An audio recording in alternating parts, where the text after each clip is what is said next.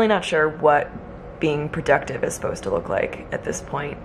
I'm also not sure that I'm supposed to be productive at this point, but I feel like so pent up and just like I need to do something. There's I just need to accomplish something productive or adult or creative or something, I don't know. I need to find something to do to fix this, so that's what we're going to do today. We're gonna fix it. Getting dressed seems like a good good step to take.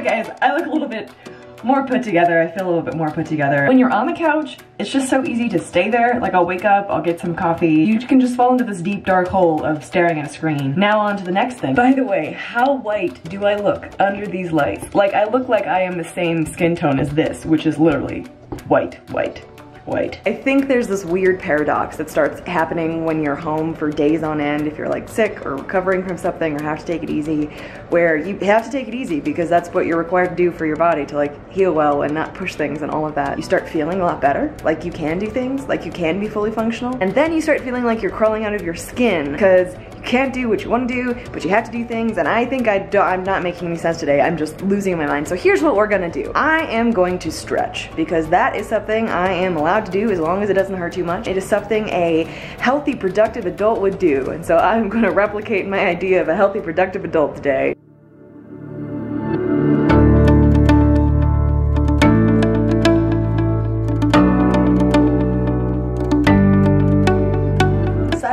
I just looked in the viewfinder. My leg looks so shriveled up because I haven't been able to actually work it in so long. That's weird looking. Oh well.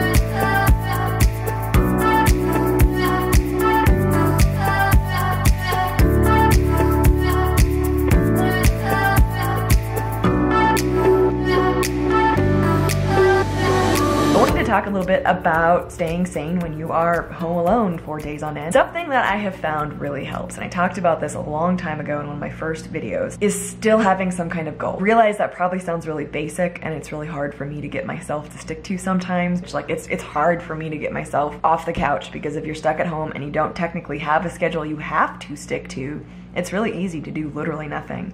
But when you do that for days on end, you start feeling like terrible. So a goal that I set for myself during this recovery was to learn Final Cut Pro. I edit my videos, I shouldn't say this on camera, but on iMovie, which is terrible.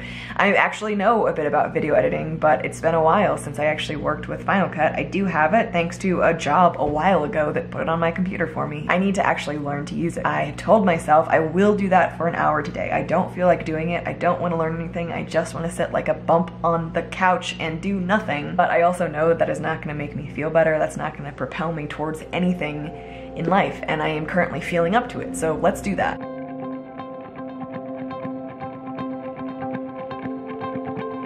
Now that I have learned a little bit, I wanted to move on to something else that really helped me, especially when I was first adjusting to not having a leg. I made a list of things that I could actually do. I felt like there was nothing in my control, nothing in my power, and something that really helped me was having a physical list that I could look at of all the things that I could still do, that were still in my control, that were still in my power, that I was still physically and mentally capable of. So I actually wrote down a list of what I can still do. For me, this was almost like an exercise exercise and gratitude. Like these are the things I am so physically capable of, mentally capable of, relationally capable of. This is what I can still do as a person and it really helped me keep my hands around what I am in control of because I think when we feel out of control, it's really easy to spiral. And so I am going to spend some time writing down that list again because I am beginning to feel a little bit like I'm spinning. And if I can write down five things that I am in control of, five things that I can do, usually that gets my brain going and I end up thinking of way more things than that. There's so much that you can still do, even if it doesn't feel like it, even if I don't feel like it right now. So I'm gonna spend some time right now writing down that list.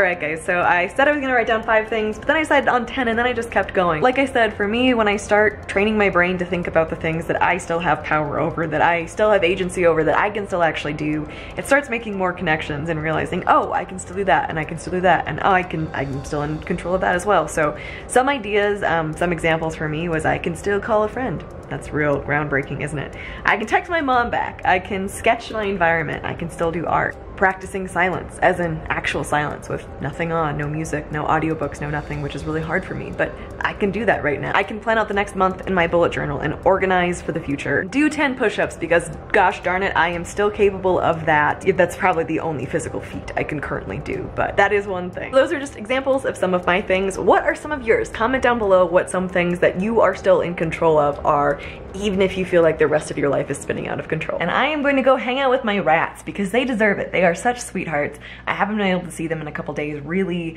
well, I mean like the first couple days after surgery just because I didn't want to risk any like kind of infection or anything like that. So let's go hang out with them. That's, that's a good idea, right? I made it guys. I wish that I could show you what it looks like. I'll probably have Brian do this when he gets his GoPro. Uh, what it looks like for me to try to go up and down the stairs we have because we live in a tri-level house with wood stairs. We have no carpet in our house unless we like put a carpet down. It's great for pets that way, but it's terrible if you are on crutches or unstable. So frankly, I mostly hang out in the downstairs living room because it's on the first level. I don't have to deal with stairs. It's safe, it's easy. To get up to like the bedrooms or to see my rats or even to the kitchen, I have to go up hardwood stairs. And I feel like I'm risking my life every time I'm doing it. Stairs are definitely doable, but they do pose a problem. Has anyone like found any stair hacks? If you guys are uh, stuck at home with one leg or on crutches and have a house full of stairs and have to use them.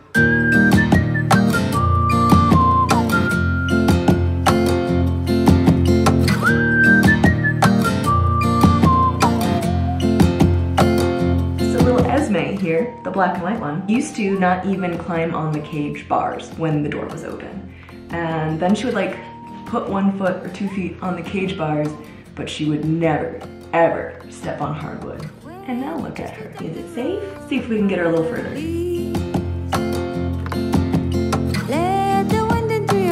Oh, well, you found the box, didn't you? Is this where you're supposed to be? She knows she's not supposed to be there. I've taken off every way she ever has gotten on there, but she always finds a way back. You're very pretty rat. Oh, don't hurt yourself. Imagine all the words becoming real. Together we'll be free. Well, I'll be honest, I feel significantly better than I did when I started this day.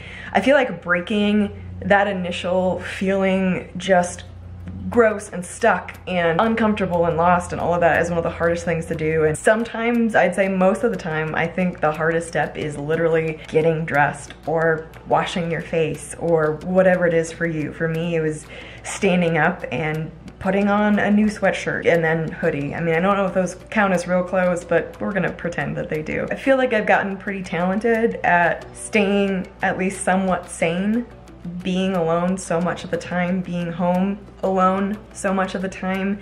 I know a lot of people really don't do well with it, but I've figured out ways to like stay happy, stay content, be able to like learn things and do things and being an introvert definitely helps that. There are times when I just hit a wall and I, I just feel lost and uncomfortable in my skin and unproductive and stuck and like I can't do anything but I also don't want to do anything but even if I wanted to do something like what could I do because I'm so helpless and like all of that and it's this internal dialogue that isn't accurate and sometimes the best thing to do is just simply to get up. And if getting up and getting dressed is my grand achievement for the day, well then, you know what, that's okay. But I do think it's really important to keep habits, to keep some kind of loose schedule for yourself, even if it's just you, even if it's just you home alone and you're not responsible to anyone or, you know, anything else. It's a weird existence and it can kind of start to feel like the rest of the world doesn't exist and like you're an alien on a different planet and, and focusing on what you're in control of and taking time to do something that's enjoyable, that's more than just like sitting and staring at a screen, like